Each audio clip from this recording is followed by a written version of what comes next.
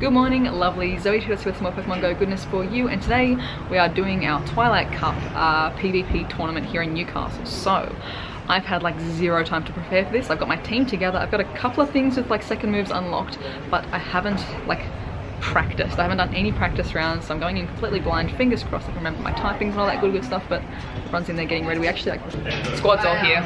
It's like kind of borrowed like a room at an RSL, so we're gonna see how this goes.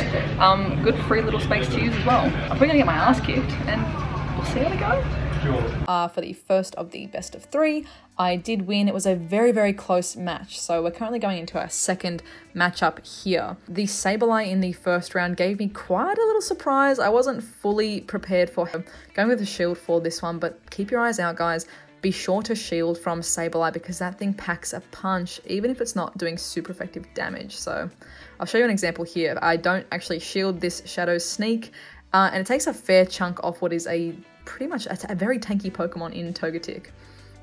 Shielding for the second one here so I can get my charge move off just in case, like just in case it doesn't work. Uh, Dazzling Gleam and Fairy, thankfully, super effective against Sableye, but uh, he did block me there. Keep in mind as well, guys, uh, there's a new update, so if you see the shield, oh, ouch, there I go. If you do see the shield glow red, it, it does mean that that move would have been super effective. So jumping in now with Toxicroak with Mud Bomb, he doesn't shield, and thankfully I'm able to wipe him out with that one. And charge up really quickly for a second Mud Bomb, which is a ground type move. The only thing that Skuntank is weak to is ground.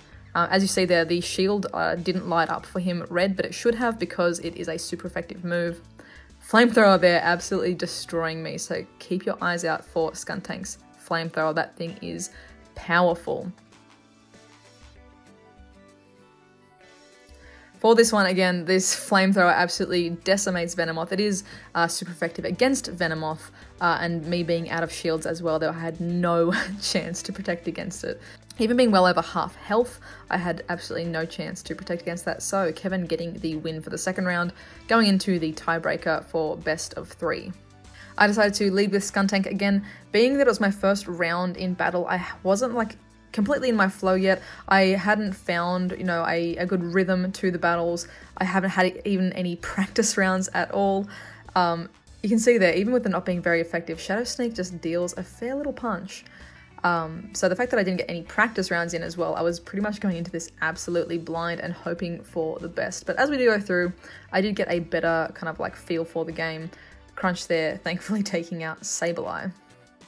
Kevin comes in with a Skuntank as well for a mirror match. Uh, I did, you did see me there trying to swap out as well. I was going to swap out to Toxicroak, who has these super effective moves against uh, Skuntank, but for whatever reason, a few of us encountered this issue where we couldn't swap out correctly. We would hit swap, tap on the Pokemon that we wanted, uh, but it wouldn't actually swap out. So still kind of works out in my favor here. Sludge Bomb being super effective against Azumarill and taking a heck of a chunk of health out of that one as well here. Gonna use the shield just because I do want to stay in and hopefully either get off another quick uh, charge move or save myself for when he brings back in the, uh, what's the big, the Skuntank, when he brings Skuntank back in. And then, as unfortunately, I couldn't last out long enough against the Azumarill, bringing in Skuntank, and you can see here, for whatever reason, I can't, like, for whatever reason, I did have a charge move ready to go. I was trying to mash that one as I came into battle, but I couldn't uh, use it. I had the, the swap out menu in the way. So again, another another situation where maybe we could have reset the match, but I wasn't too, you know, passionate about it either way. I was, you know, okay with that. But guys, do keep your eye out for errors like that because you, if you do think that it is something that could have absolutely changed the flow of the game, but um, you can call those out to your local, you know, your ref uh, for the game and have the match reset. So going in now for game two against Joel. Uh, Joel leads with a Gengar.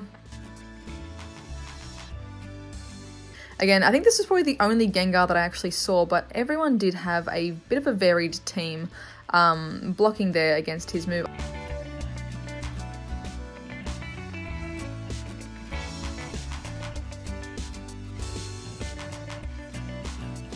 I did make the mistake here as well of not shielding.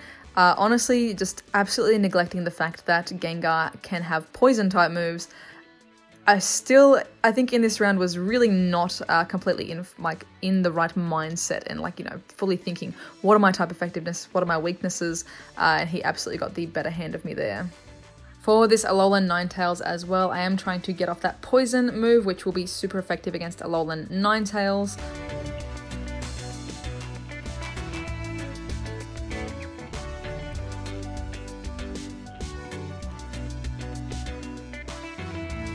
Baiting out the shields here from Joel as well. So slowly taking down the Alolan Ninetales. You can see me there trying to attempt a Mud Bomb just in case, uh, just to get like you know, that last little hit off.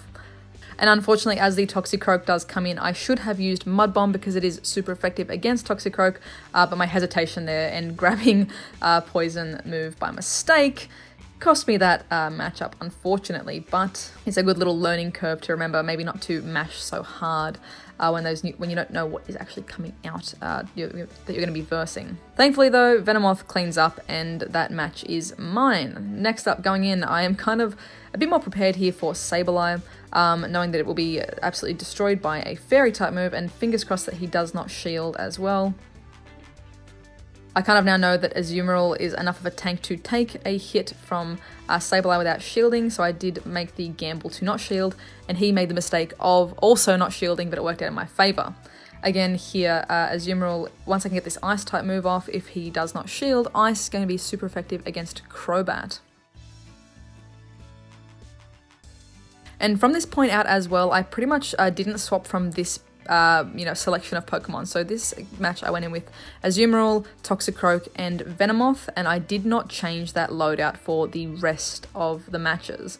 So every single match after this, I went in with Azumarill as the lead, uh, Toxicroak, and then Venomoth, and that honestly uh, worked in my favor, as you'll see through the upcoming battles as well. So I managed to get rid of both of Joel's shields here. Uh, I still have got one spare just in case. Um, and in this little matchup, I kind of tested, uh, because Ninetales will be resistant to both Fairy and Ice, um, I think in this matchup or the next one, I did try to see which would do more damage, just neutral damage, the Play Rough or the Ice type move. And I did figure out that the uh, Play Rough actually, it's gonna be choosing there, Play Rough actually does uh, more damage as a kind of neutral damage type. If it's gonna be resisting both uh, Ice and the Play Rough, or if you just need to get some bigger damage out, go with Play Rough. And taking out the second win there as well, going on to the next round with a loss and a win. I did a little bit of uh, scoping around as well to see what other people were going in with. I did notice, honestly, a lot of Azumarills, a lot of Venomoths. Uh, there was certainly a lot of Toxicroaks and Skuntanks as well, people kind of playing the meta. But there was also a lot of really interesting picks. Uh, one guy went in with Sharpedos, which I found really, really interesting. He and I had a friendly match after this comp, and the Sharpedo absolutely caught me off guard. It took me a second to say, what type is Sharpedo? It's dark and water, or is it... Uh, and that hesitation was enough time for him to get the advantage on me. A few other interesting picks as well through the group that you can see, uh, a couple of Drapions and things like that, but nothing too uh, too far left of field. There was actually one Mr. Mime that caused a bit of trouble for players as well, and that was a pretty fun one to see. But it's time to go into the third round now as well. As you can see, going in again with Azumarill, Toxicroak, and Venomoth. No changes to my party whatsoever. So we have got a Azumarill mirror match, so we are both same type, presumably with these same moves, but I mean, honestly, uh, I don't want to make any assumptions here. Either way, I'm going to be pretty much resisting most of what it's got.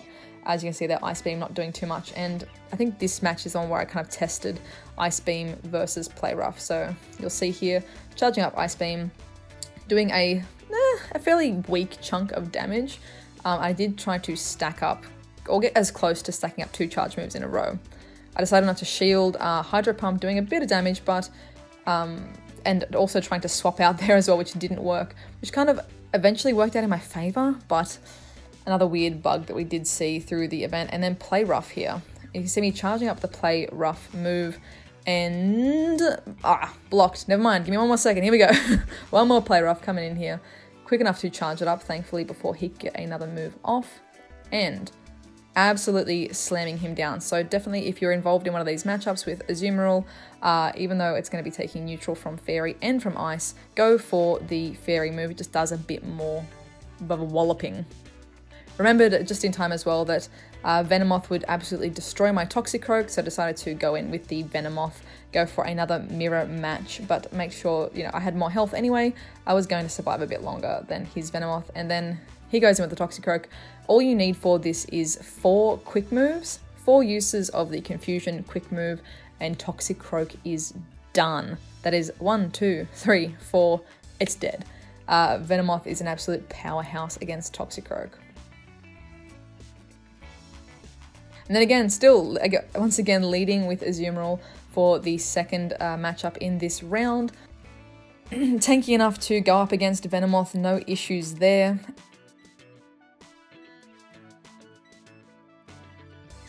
And again, it is another instance of it being tanky enough to take the hits, especially with stuff that's not super effective. You don't have to use your shields. Uh, Azumarill can can take the hits. Um, it is a I, I find like and this is just from you know one uh, one session. I'd like to do way more battles with this, but leading with Azumarill gives you time to think about what you might change into, what your opponent might have for this pairing, uh, and kind of prepare you a little bit. So thankfully, I had enough health to last through and get uh, a charge move off and bait out a shield, swapping in then with Toxicroak, who's going to be doing super effective damage once I can get that Mud Bomb off as well. Thankfully, I did shield against the Earthquake because that would have destroyed Toxicroak. Mud Bomb coming in now as well. No shield used, uh, out of shields, and working out in my favor. So poison here, going to be super effective against Azumarill. So pretty decent. Oh, look at that damage. Pretty, like, really decent overall co coverage from Toxicroak as well. It is unfortunate, or I mean, it's not unfortunate, it's kind of, you know, everything needs to have a weakness, but that it is so easily countered by Venomoth, but, you know, you have to then consider in the factors as well, is your Venomoth going to survive long term in battle? Going in for the final round now against the person who's basically cleaned up against every other person here. Uh, no losses at all, so fingers crossed, wish me luck. I have no strategy. We'll see how we go. So final round going up now and this was against one of the guys who was completely undefeated. He won every single one of his rounds. Uh, is a clean sweep I believe. I think maybe one of them went to the third round but absolutely destroyed. So going up against Golbat as well, super weak to ice. And totally unexpected that he would not shield against that one.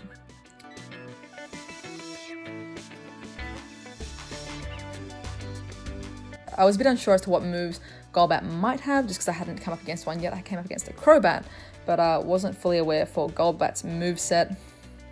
Again, uh, Azumarill versus Azumarill, it's just going to be kind of baiting each other out and running down the clock a little bit, trying to do enough damage to one another.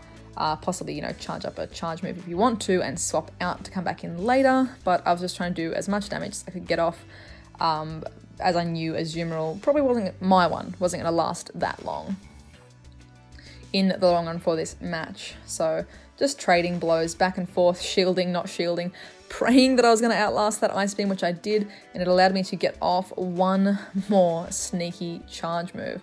So, so close there. It could have been a really risky gamble, but actually taking down his Azumarill. And then Tentacruel, uh, my brain is trying to process, uh, what is uh, Tentacruel weak to again? Um, and of course, I'm going to be wanting to go in with that Mud Bomb to take care of business. Uh, he does go in with the shield, which is a obviously a smart choice to do. Again, hoping that I can uh, kind of get the next charge move off quick enough. The smartest choice there for me to use that shield, even though it is my last one, but I'm pretty sure I can get, you know, that last charge off, do as much damage as I can. He blocks again, I'm in the stress zone. I do have one additional Pokemon on him, but, you know, would Venomoth, you know, last that long against Tentacruel? I don't know. Thankfully, though, he's out of shields, super effective with the Mud Bomb, takes down Tentacruel. And that is a win for the first of my final matches. And then again, as I said before, I did not change my team. It is a Azumarill, uh, Toxicroak, and Venomoth again. Um, I find that if I, like you know, everything's kind of working, I might as well not swap it up and see how we go. So swapping out there to Toxicroak, who will have the super effective move of Mud Bomb, but I did make sure that I had uh, charged up one charge move on my Azumarill before swapping out two, so that maybe I can get you know a surprise when I come back in. So setting off Mud Bomb now. And not being shielded sorry and it being shielded there as well so we set our charges off at the same time so you didn't really see the animation of the shield but he did shield that move and you can see me here trying to swap out pokemon and it was not allowing me to do so so i kind of just tried to keep tapping around that menu to make the best the best of that but unfortunately i don't get to use my charge attack either going with Venomoth, this thing just, you don't even have time to swap out Toxicroak just about, but he does. He sneaks it in really, really quick. Uh, and you can see me here as well trying to swap out. You saw me tap the uh, swap button and it did not work, so I decided to go for the Psychic, so I was not to waste time. I needed to, you know, maybe get some damage off and hopefully keep my Venomoth alive because I want to have that two Pokemon advantage on him when I can. Again, trying to swap out, trying to swap out, trying to swap out. I finally get it back in for the Azumarill, and I just have to cop this hit when I come in because uh, he's already lined up his charge move getting off Ice Beam. Ideally, again, I would have wanted to go for the Fairy move, uh, but my thumb was just closest to that one. I was just mashing as much as I could. So able to use the Ice Charge move when he comes back in as well. With Toxicroak, it is blocked. I, uh, you did see my thumb there. Kind of get lazy. I, I forgot that he had one shield remaining. This one takes me out as well with the poison move, but thankfully uh, my Venomoth did survive to come back out in the end and take home the victory in this battle. You're all done. Record results. I got five. So we find the one then? I just didn't, I don't like the mix. Yeah, one, two, two, one. You're all done. Yeah. Wow.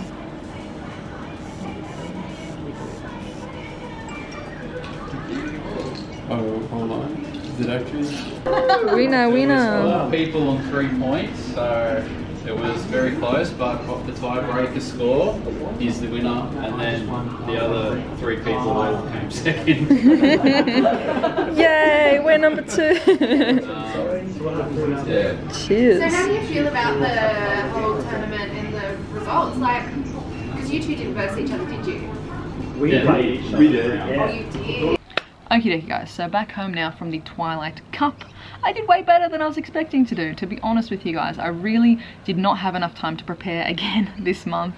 I like to compete again at the end of the month. I know that won't count towards my ranking in the Silph Road necessarily, but I still want to have another go at it and learn a bit more for this league.